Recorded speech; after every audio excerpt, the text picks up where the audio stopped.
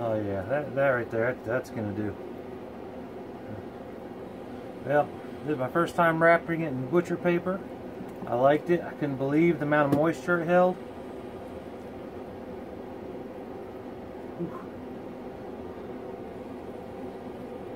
A nice smoke ring to it. It's beautiful. Can't believe that fell apart. I'm loving the new knife.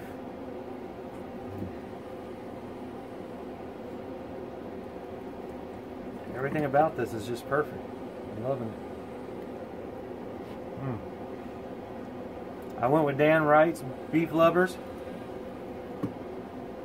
uh, for the, um, the seasoning on the outside. I didn't bother injecting this one at all. I usually do that. Got some burn ends coming out in a second.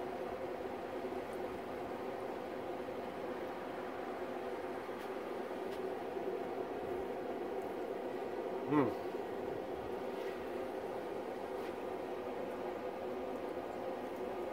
The burn ends, I actually use Dan Wright's uh, Chipotle barbecue sauce. Right there. I buy it by the gallon because it's not just okay, it's awesome. If it's just okay, I go get a bottle every now and again. But, you know me, if it's good, I'll let you know about it. If it's bad, well, I'll let you know in private. But good stuff, I'm going to share that. I am very happy with this brisket. Happy with the bark. Happy with the tenderness. Very, very good. Appreciate y'all staying with me this weekend. Alright, so that's a wrap. There's the brisket.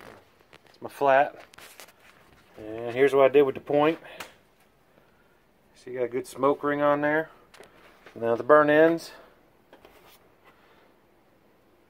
I used uh, Wright barbecue sauce. The peach chipotle is amazing. I suggest everybody tries it.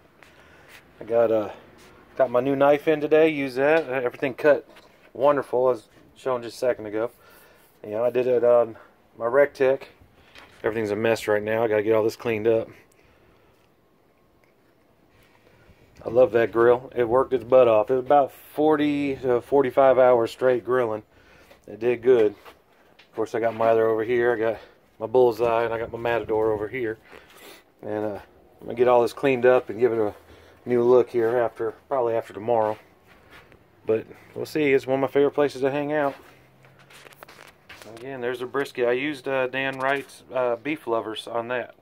I wasn't gonna go with just salt and pepper, but I don't know. I just I want to stick with what I know works and what I like. So, all right. Well, if you all want to see more videos, join Backyard Grilling and Smoking on Facebook. Happy grilling, y'all.